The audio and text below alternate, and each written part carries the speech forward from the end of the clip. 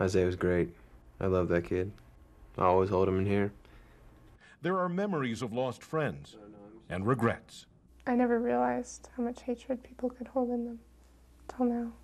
These two students are bonded by their shock over the tragedy at Columbine, but they come from two very different worlds, now even further polarized by the shooting. 18 year old Stephen Trujillo is a jock in the King of the Prom.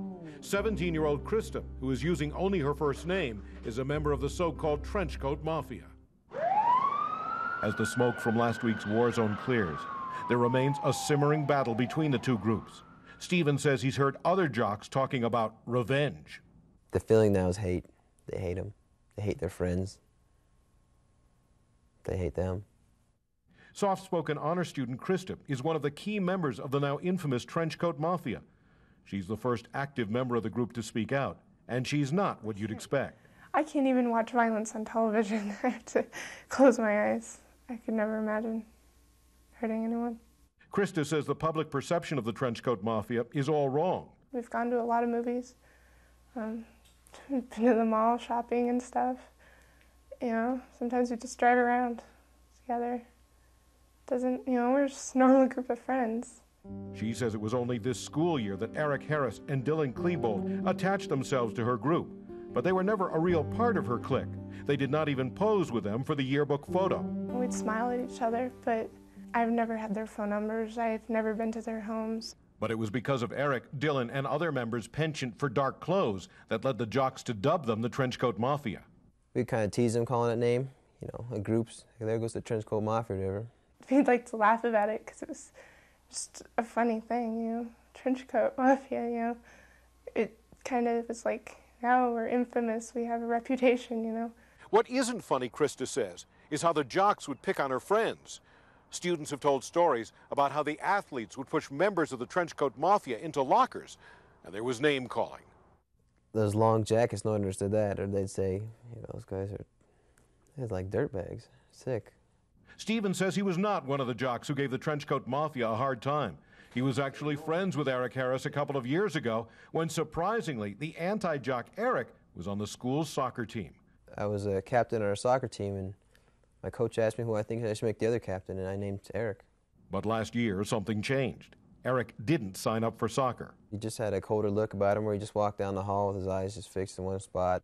Incredibly, Eric and Dylan never showed their anger at the jocks on the outside. Just last week, as these exclusive photos show, Dylan was partying at the prom. They keep the anger within themselves, and maybe that's how it built up. And no one could have imagined how they would explode. They represent a lot of evil for me. The deep sadness in Littleton has no doubt fueled the anger against the rest of the Trenchcoat Mafia. Krista says some of her friends are afraid to leave their homes, fearing for their lives. But she hopes that the jocks have learned that violence is not the solution to anything.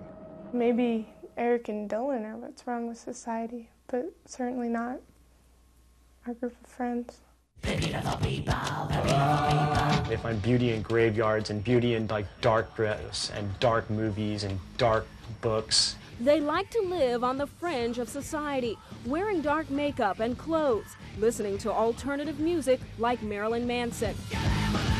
They are known as Gothics or Goths, but in the wake of the massacre in Columbine High, this underground youth movement is being viewed as something much more than just a fashion statement.